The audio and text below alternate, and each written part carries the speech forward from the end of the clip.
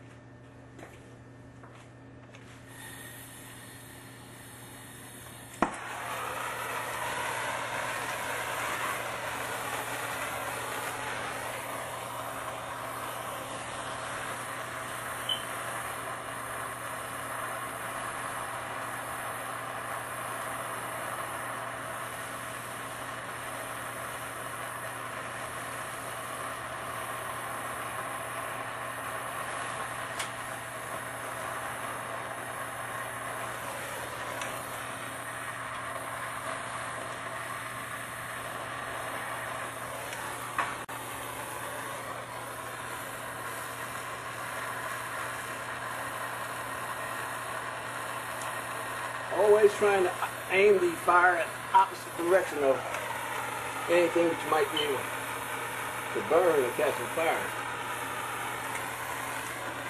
Such as the wood here.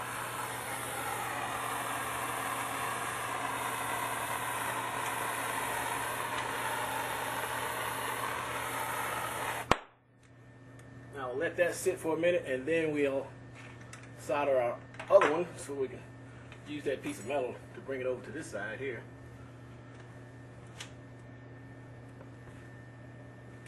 Now we're ready to solder our other 90 in place. Gotta push that up in there so.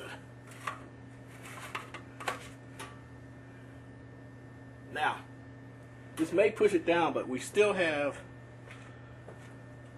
room to push it up because down at this end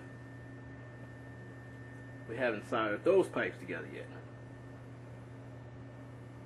And that's the reason I left that unsoldered to give me the uh, opportunity to make adjustments. Now let's solder this piece up over here.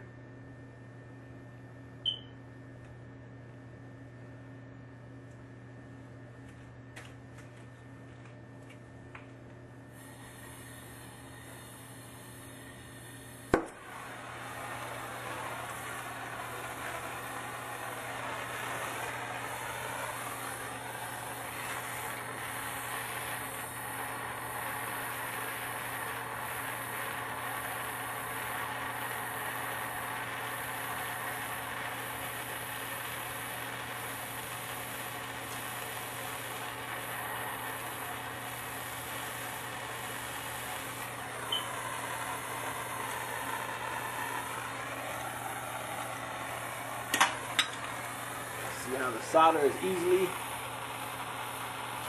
sucked in there? It's just following the heat. Where you put the heat, that's where the solder will go.